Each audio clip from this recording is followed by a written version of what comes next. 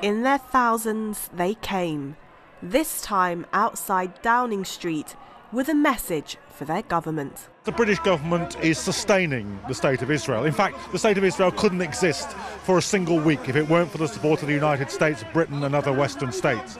So we're going from Downing Street to the Israeli embassy, and we're saying both to the Prime Minister of this country and to the Israeli state this has to stop.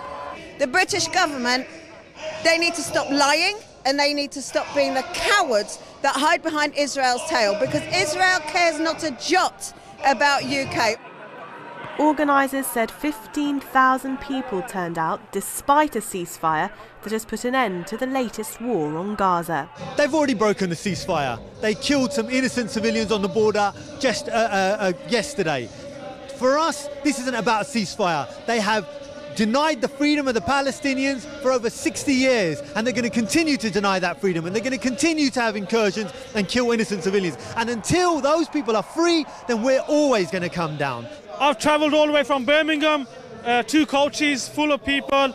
We've come here because we're outraged of what Israel is doing to Gaza, and we're going to keep coming here until the, the siege is broken and until Palestine is free public opinion is changing. During Israel's onslaught on Gaza, several opinion polls showed that a majority, not an overwhelming one, but still a majority of Brits did not agree with Israel's action.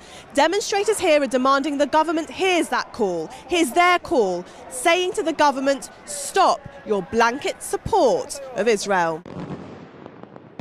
Regional politics was also on the agenda here. This was the first major military assault on Gaza since the Arab Spring, and all eyes were on the region to see if things have really changed.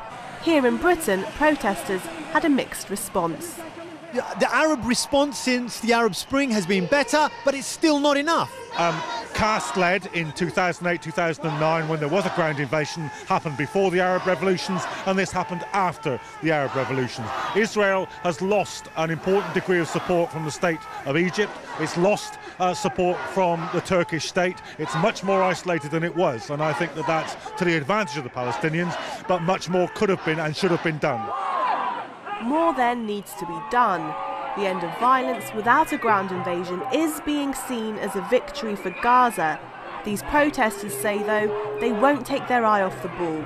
They say until there's an end to the siege and a state of Palestine, there is still work to be done. Nargis Moallakhi, Press TV, London. In Paris, thousands convened at a boisterous rally in condemnation of Israel's aggression in Gaza. For many, the injustice and bloodshed is a recurring nightmare from which the world must finally wake up. The French government supports Israel and it has not made the least protest against the bombing of Gaza.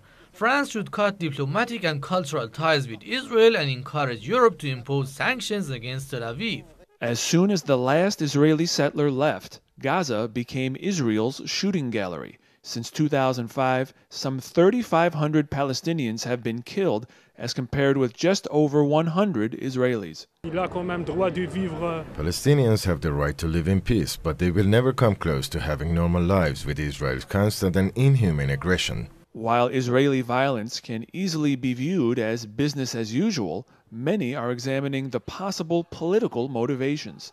Israelis will go to the polls in January, and in recent election cycles, it has been regular practice to use dead Palestinians in order to win Israeli votes.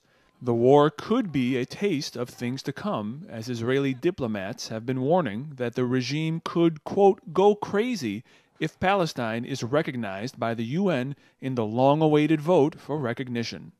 This war will ultimately backfire on Israel. The Arab uprising has changed the political situation, and the new regimes are sparking a renewed international effort to stop Israel. The blockade on Gaza, the war against democratically elected Hamas, the unrelenting apartheid policies, the latest round of bombings all contribute to making Gaza one of the poorest areas in the world.